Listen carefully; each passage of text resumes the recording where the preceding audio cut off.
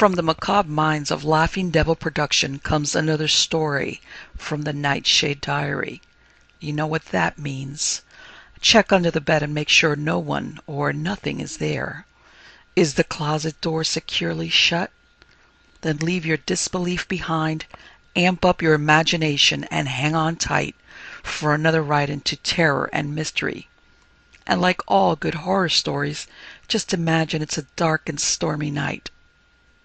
And remember, screaming like a little girl is permitted.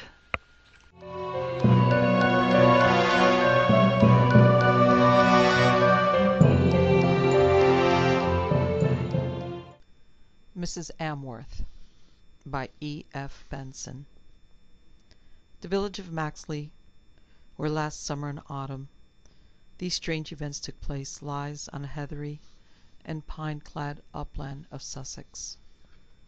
In all England you could not find a sweeter and saner situation. Should the wind blow from the south, it comes laden with the spices of the sea. To the east high downs protected from the inclemencies of March, and from the west and north the breezes which reach it travel over miles of aromatic forest and heather. The village itself is insignificant enough in point of population, but rich in amenities and beauty. Halfway down the single street, with its broad road and spacious areas of grass on each side, stands the little Norman church and the antique graveyard, long disused. For the rest, there are a dozen small, sedate, Georgian houses, red bricked and long windowed, each with a square flower garden in front, and an ampler strip behind; a score of shops, and a couple of score of thatched cottages belonging to labourers on neighbouring estates, complete the entire cluster of its peaceful habitations. The general peace, however, is sadly broken on Saturdays and Sundays for we lie on one of the main roads between London and Brighton, and our quiet street becomes a race course for flying motor cars and bicycles. A notice just outside the village, begging them to go slowly, only seemed to encourage them to accelerate their speed, for the road lies open and straight, and there is really no reason why they should do otherwise. By way of protest, therefore, the ladies of Maxley cover their noses and mouths with their handkerchiefs as they see a motor car approaching, though as the street is asphalted they need not really take these precautions against dust. But late on Sunday night the horde of scorchers had passed, and we settled down again to five days of cheerful and leisurely seclusion. Railway strikes, which agitate the country so much, leave us undisturbed because most of the inhabitants of Maxley never leave it at all. I am the fortunate possessor of one of these small Georgian houses, and consider myself no less fortunate in having so interesting and stimulating a neighbour as Francis Urcombe, who, the most confirmed of Maxleyites, has not slept away from his house, which stands just opposite to mine in the village street for nearly two years, at which date, though still in middle life, he resigned his physiological professorship at Cambridge University, and devoted himself to the study of those occult and curious phenomena which seem equally to concern the physical and the psychic sides of human nature. Indeed, his retirement was not unconnected with his passion for the strange uncharted places that lie on the confines and borders of science, the existence of which is so stoutly denied by the more materialistic minds; for he advocated that all medical students should be obliged to pass some sort of examination in mesmerism, and that one of the Tripos papers should be designed to test their knowledge in such subjects as appearances at time of death, haunted houses, vampirism, automatic writing and possession. Of course they wouldn't listen to me, ran his account of the matter, for there is nothing that those seats of learning are so frightened of as knowledge, and the road to knowledge lies in the study of things like these. The functions of the human frame are, broadly speaking, known. They're a country, anyhow, that has been charted and mapped out. But outside that lie huge tracts of undiscovered country, which certainly exist, and the real pioneers of knowledge are those who, at the cost of being derided as credulous and superstitious, want to push on into those misty and probably perilous places. I felt that I could be of more use by setting out without compass or knapsack into the mists than by sitting in a cage like a canary and chirping about what was known. Besides, teaching is very, very bad for a man who knows himself only to be a learner. You only need to be self-conceited as to teach.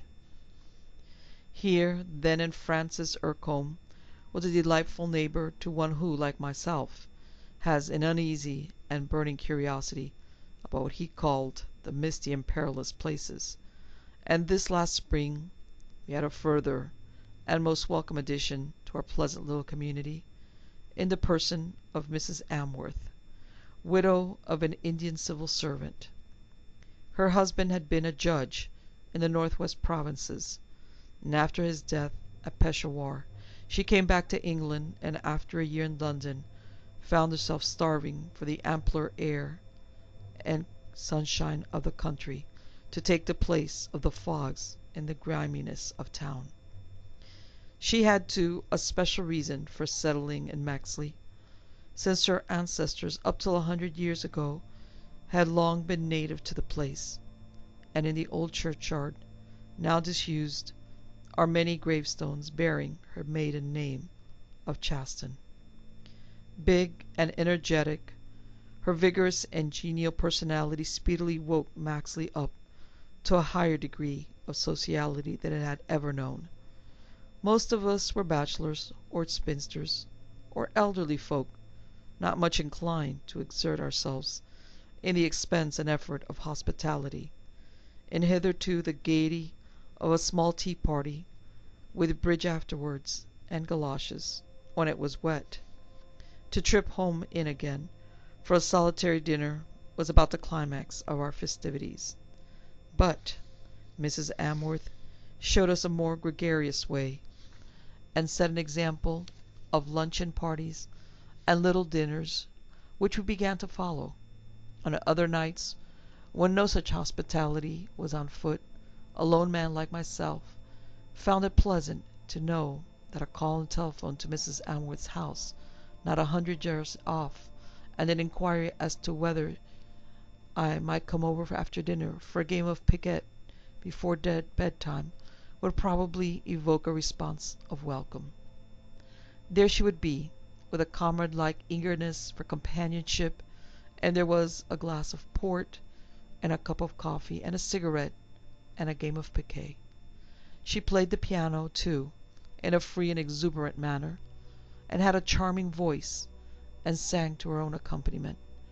And as the days grew long, and the light lingered late, we played our games in our garden, which in the course of a few months she had turned from being a nursery for slugs and snails into a glowing patch of luxuriant blossomings. She was always cheery and jolly. She was interested in everything, and in music, in gardening, in games of all sorts was a competent performer. Everybody, with one exception, liked her. Everybody felt her to bring with her the tonic of a sunny day. That one exception was Francis Urcombe. He, though he confessed he did not like her, acknowledged that he was vastly interested in her. This always seemed strange to me, for pleasant and jovial as she was, I could see nothing in her that could call forth conjecture or intrigue surmise, so healthy and unmysterious a figure did she present. But of the genuineness of Urcombe's interest there could be no doubt. One could see him watching and scrutinizing her. In matter of age, she frankly volunteered the information that she was forty five. But her briskness, her activity, her unravaged skin, Her coal black hair made it difficult to believe that she was not adopting an unusual device, and adding ten years on to her age instead of subtracting them. Often, also, as our quite unsentimental friendship ripened, Mrs. Amworth would ring me up and propose her advent. If I was busy writing, I was to give her, so we definitely bargained, a frank negative, and in answer I could hear her jolly laugh and her wishes for a successful evening of work. Sometimes, before her proposal arrived, Urcombe would already have stepped across from his house opposite for a smoke and a chat, and he, hearing who my intended visitor was, always urged me to beg her to come. She and I should play our piquet, said he, and he would look on, if we did not object, and learn something of the game. But I doubt whether he paid much attention to it, for nothing could be clearer than that. Under that penthouse of forehead and thick eyebrows, his attention was fixed not on the cards, but on one of the players. But he seemed to enjoy an hour spent thus, and often until one particular evening in July he would watch her with the air of a man who has some deep problem in front of him. She, enthusiastically keen about her game, seemed not to notice his scrutiny. Then came that evening when, as I see in the light of subsequent events, began the first twitching of the veil that hid the secret horror from my eyes. I did not know it then, though I noticed that thereafter, if she rang up to propose coming round, she always asked not only if I was at leisure, but whether Mr. Urcombe was with me. If so, she said, she would not spoil the chat of two old bachelors, and laughingly wished me good night. Urcombe, on this occasion, had been with me for some half hour before Mrs. Amworth's appearance, and had been talking to me about the medieval beliefs concerning vampirism, one of those borderland subjects which he declared had not been sufficiently studied before it had been consigned by the medical profession to the dust heap of exploded superstitions. There he sat, grim and eager, tracing with that pellucid clearness which had made him in the Cambridge days so admirable a lecturer, the history of those mysterious visitations. In them all there were the same general features. One of those ghoulish spirits took up its abode in a living man or woman, conferring supernatural powers of bat like flight, and glutting itself with nocturnal blood feasts. When its host died, it continued to dwell in the corpse, which remained undecayed. By day it rested, by night it left the grave and went on its awful errands. No European country in the Middle Ages seemed to have escaped them. Earlier yet, parallels were to be found in Roman and Greek and in Jewish history. It's a large order to set all that evidence aside as being moonshine, he said. Hundreds of totally independent witnesses in many ages have testified to the occurrences of these phenomena, and there's no explanations known to me which covers all the facts. And if you feel inclined to say, why then, if these are facts, do we not come across them now? There are two answers I can make you. One is that there were diseases known in the Middle Ages, such as the Black Death, which were certainly existent then, and which have become extinct since. But for that reason we do not assert that such diseases never existed. Just as the Black Death visited England and decimated the population of Norfolk, so here in this very district, about three hundred years ago, there was certainly an outbreak of vampirism, and Maxley was the center of it. My second answer is even more convincing. For I tell you that vampirism is by no means extinct now. An outbreak of it certainly occurred in India a year or two ago. At that moment I heard my knock replied in the cheerful and peremptory manner in which Mrs. Amworth is accustomed to announce her arrival, and I went to the door to open it. Come in at once, I said, and save me from having my blood curdled. Mr. Urcombe has been trying to alarm me. Instantly her vital, voluminous presence seemed to fill the room. "Ah, but how lovely!" she said. "I delight in having my blood curdled. Go on with your ghost story, Mr. Urcombe. I adore ghost stories." I saw that, as his habit was, he was intently observing her. "It wasn't a ghost story, exactly," said he. "I was only telling our host how vampirism was not extinct yet. I was saying that there was an outbreak of it in India only a few years ago." There was a more than perceptible pause, and I saw that, if Urcombe was observing her, she was on her side was observing him, with fixed eyes and parted mouth. Then her jolly laugh invaded that rather tense silence. "Oh, what a shame!" she said. "You're not going to curdle my blood at all. Where did you pick up such a tale, Mr. Urcombe?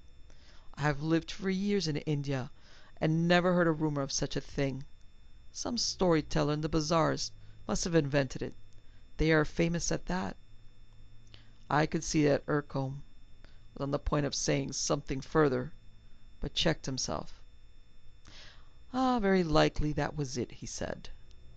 But something had disturbed our usual peaceful sociability that night, and something had damped Mrs. Amworth's usual high spirits. She had no guster for her piquet, and left after a couple of games. Urcombe had been silent too; indeed, he hardly spoke again till she departed.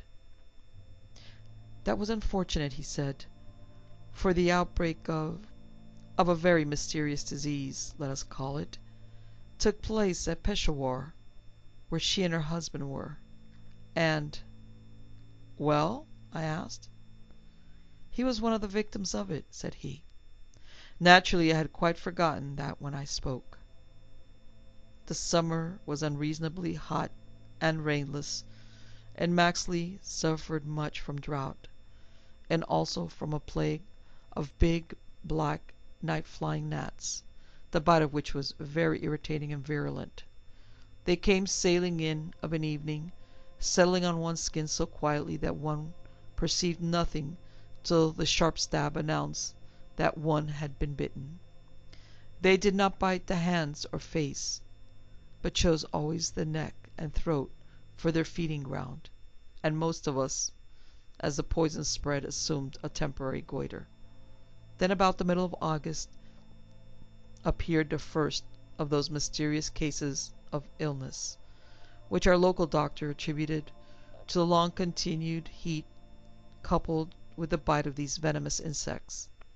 The patient was a boy of sixteen or seventeen, the son of Mrs. Amworth's gardener, and the symptoms were an anemic pallor and a languid prostration, accompanied by great drowsiness and an abnormal appetite. He had, too, on his throat two small punctures, where, so Dr. Ross conjectured, one of these great gnats had bitten him. But the odd thing was that there was no swelling or inflammation round the place where he had been bitten. The heat at this time had begun to abate, but the cooler weather failed to restore him, and the boy, in spite of the quantity of food which he so ravenously swallowed, wasted away to a skin clad skeleton. I met Dr. Ross in the street one afternoon, about this time, and in answer to my inquiries about his patient, he said that he was afraid the boy was dying. The case, he confessed, completely puzzled him. Some obscure form of pernicious anemia was all he could suggest, but he wondered whether Mr. Urcombe would consent to see the boy, on the chance of his being able to throw some new light on the case; and since Urcombe was dining with me that night, I proposed to Dr. Ross to join us. He could not do this, but said he would look in later. When he came, Urcombe at once consented to put his skill at the other's disposal, and together they went off at once. Being thus shorn of my sociable evening, I telephoned to Mrs. Amworth to know if I might inflict myself on her for an hour. Her answer was a welcoming affirmative, and between piquet and music the hour lengthened itself into two. She spoke of the boy who was dying so desperately and mysteriously ill, and told me that she had often been to see him, taking him nourishing and delicate food. But to day and her kind eyes moistened as she spoke she was afraid she had paid her last visit.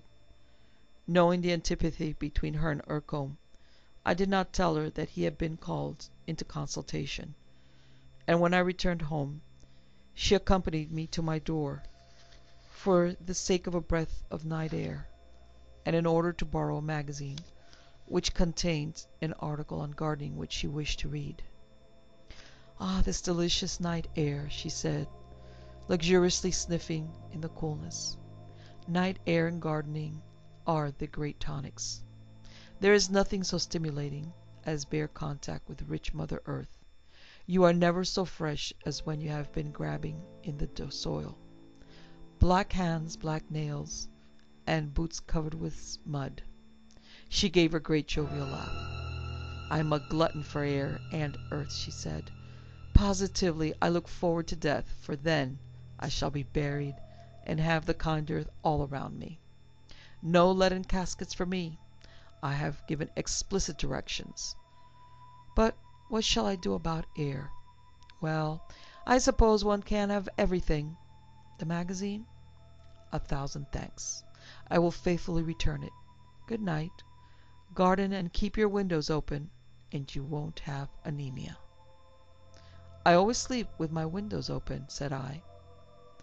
I went straight up to my bedroom, of which one of the windows looked out over the street, and as I undressed I thought I heard voices talking outside not far away, but I paid no particular attention, put out my lights, and falling asleep plunged into the depth of a most horrible dream, distortedly suggested, no doubt, by my last words with Mrs. Amworth. I dreamed that I woke, and found that both my bedroom windows were shut. Half suffocating, I dreamed that I sprang out of bed and went across to open them.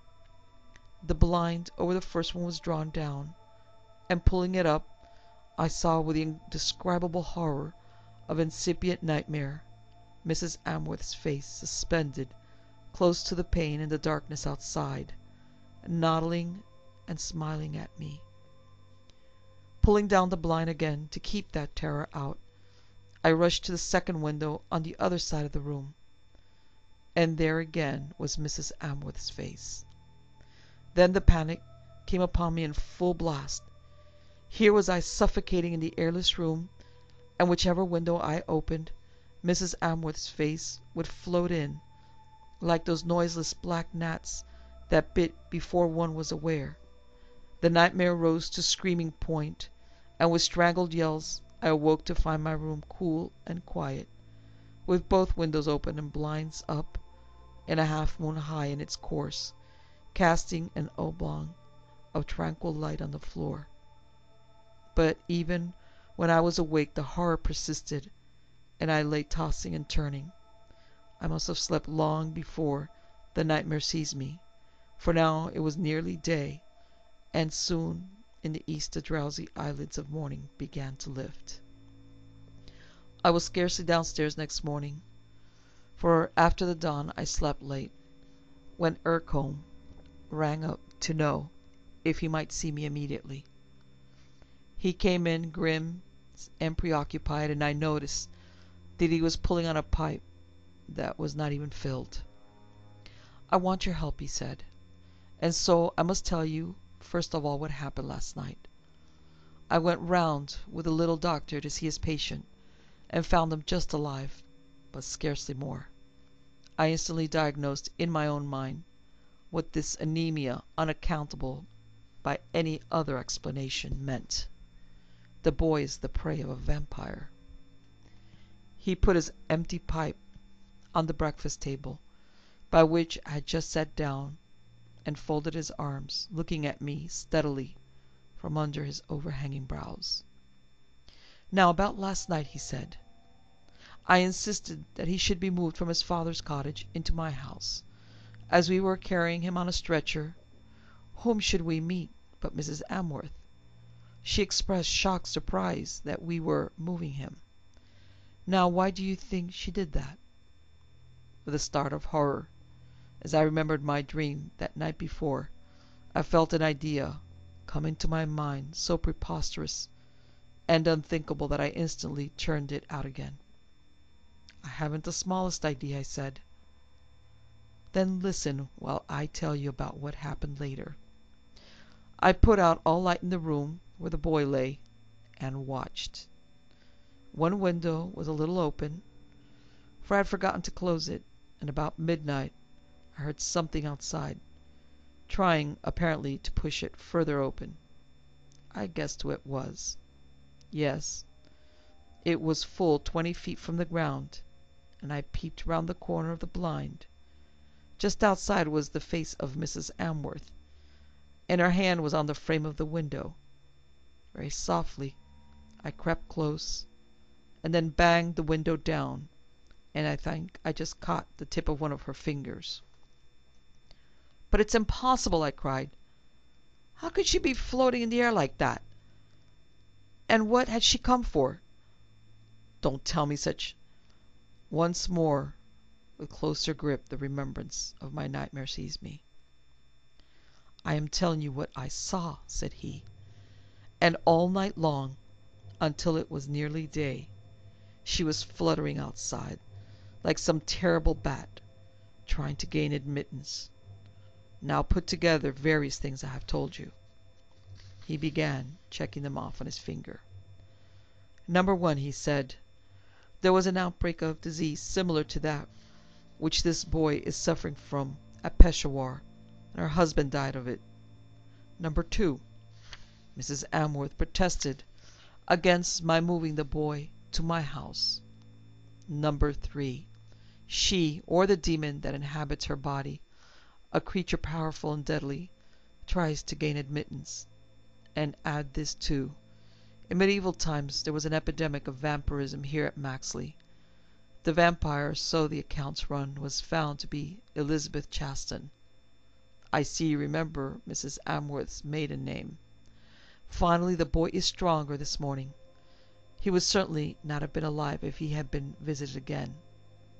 And what do you make of it?"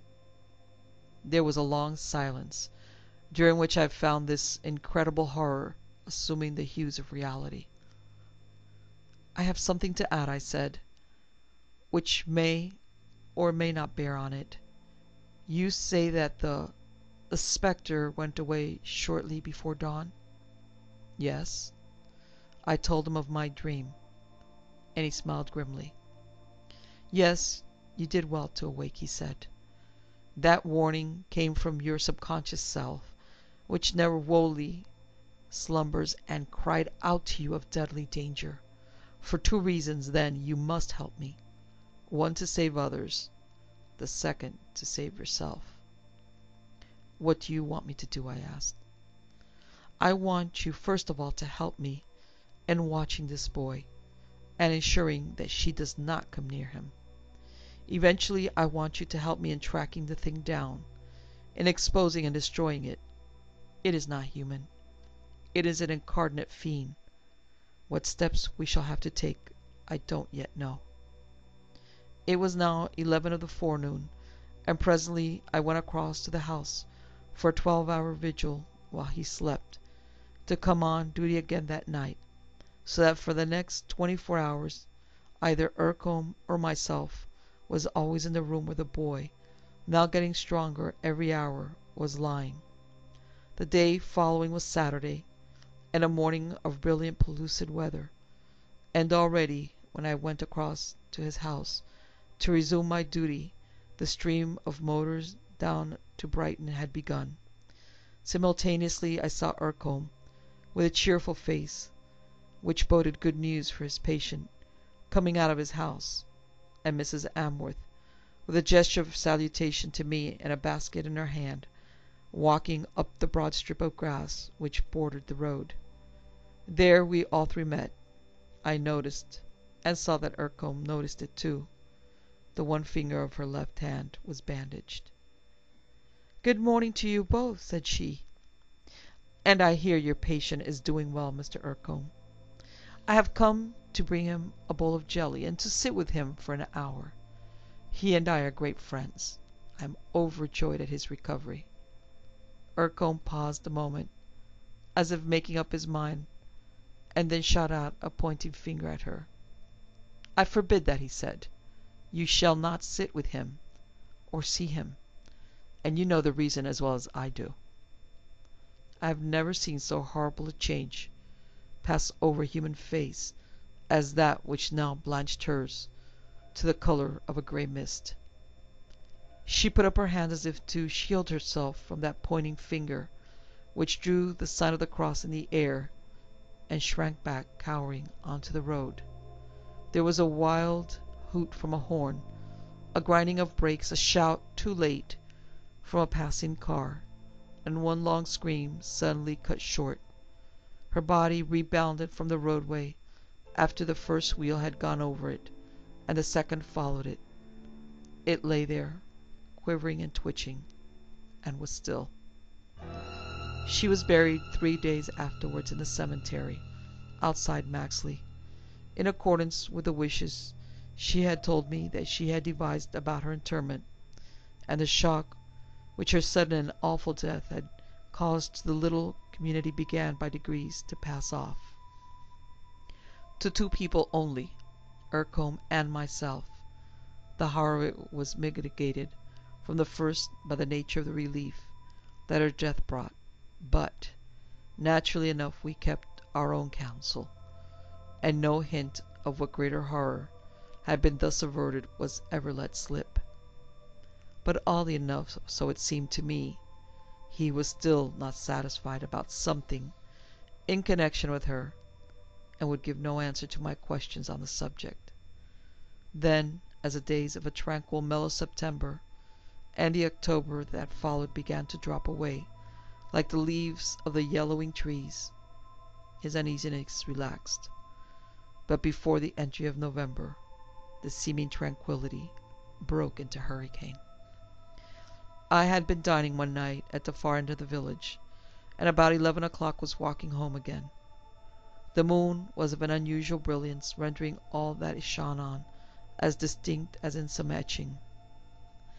I had just come opposite the house which Mrs. Amworth had occupied, where there was a board up telling that it was to let, when I heard the click of her front gate, and next moment I saw, with a sudden chill and quaking of my very spirit, that she stood there.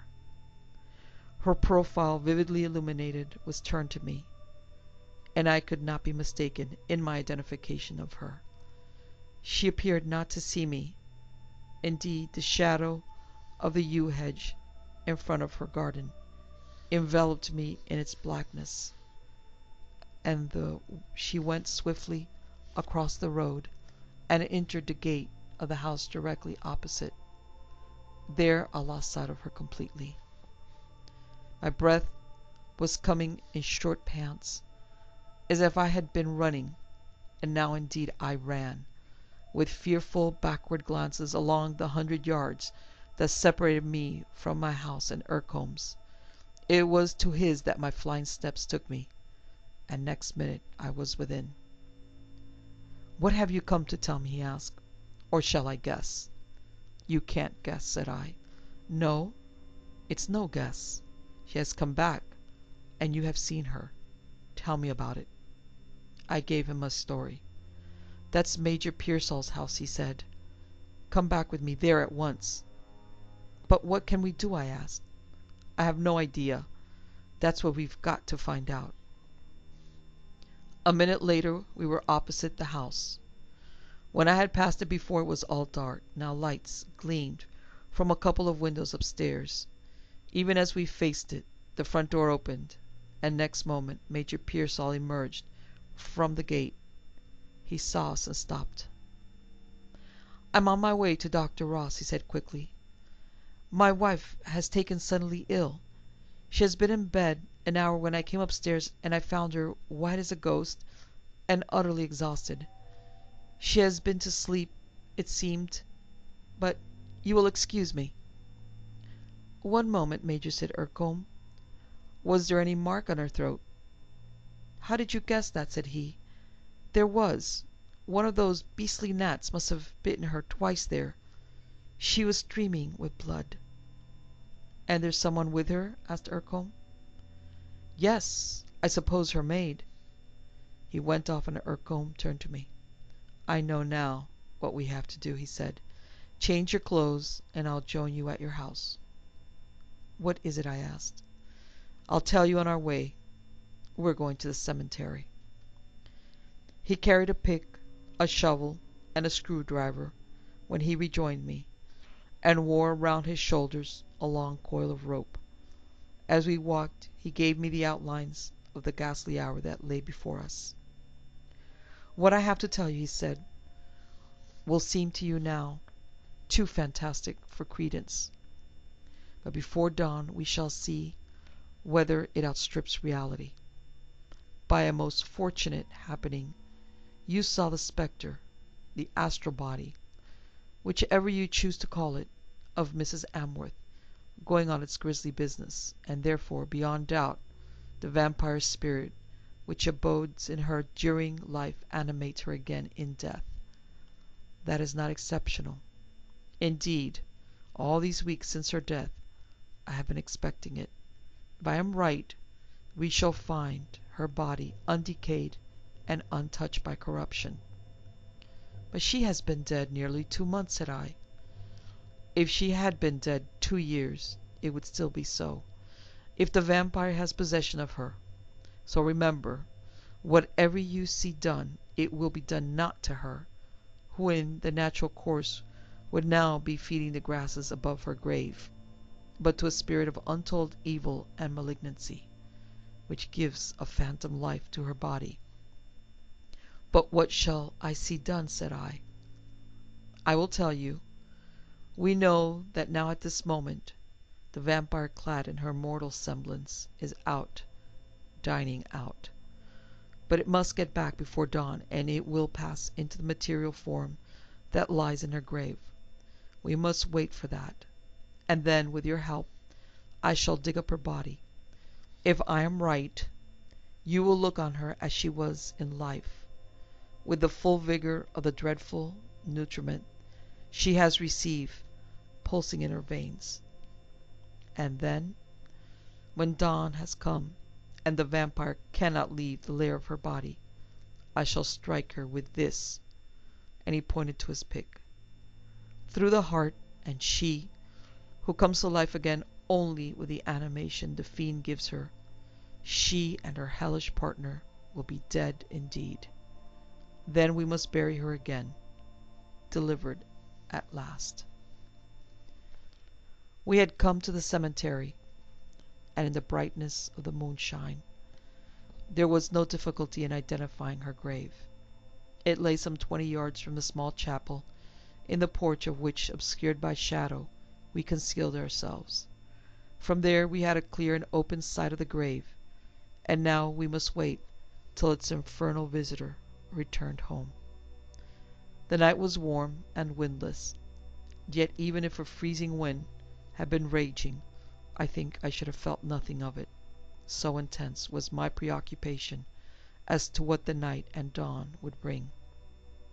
There was a bell in the turret of the chapel that struck the quarter of the hour, and it amazed me to find how swiftly the chimes succeeded one another. The moon had long set, but a twilight of stars shone in a clear sky when five o'clock of the morning sounded from the turret.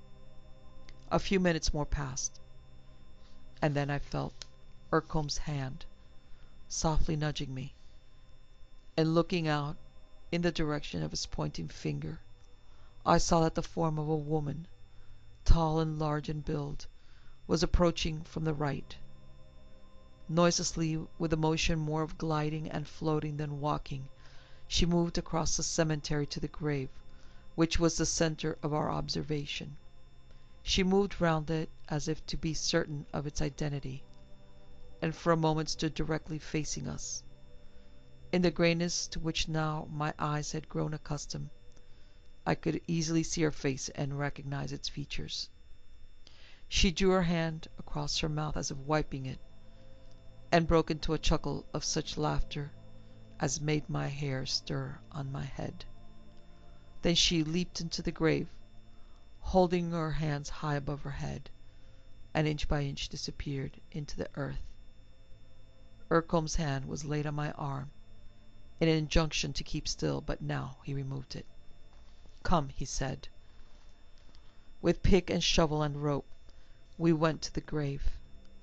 The earth was light and sandy, and soon after six strike we had delved down in the coffin lid. With a pick he loosened the earth round it, and adjusting the rope through the handles by which it had been lowered, we tried to raise it. This was a long and laborious business, and the light had begun to herald day in the east before we had it out, and lying by the side of the grave. With his screwdriver he loosened the fastenings of the lid and slid it aside, and standing there we looked on the face of Mrs. Amworth. The eyes, once closed in death, were open. The cheeks were flushed with color. The red, full lipped mouth seemed to smile. "One blow and it is all over," he said. "You need not look." Even as he spoke, he took up the pick again, and laying the point of it on her left breast, measured its distance, and though I knew what was coming, I could not look away. He grasped the pick in both hands, raised it an inch or two for the taking of his aim, and then with full force brought it down on her breast. A fountain of blood, though she had been dead so long, spouted high in the air, falling with the thud of a heavy splash over the shroud, and simultaneously from those red lips came one long appalling cry, swelling up like some hooting siren, and dying away again. With that, instantaneous as a lightning flash, came the touch of corruption on her face. The color of it faded to ash, the plump cheeks fell in, the mouth dropped. "Thank God, that's over!" said he, and without pause slipped the coffin lid back in its place. Day was coming fast now, and working like men possessed, we lowered the coffin into its place again, and shovelled the earth over it. The birds were busy with their earliest pipings as we went back to Maxley.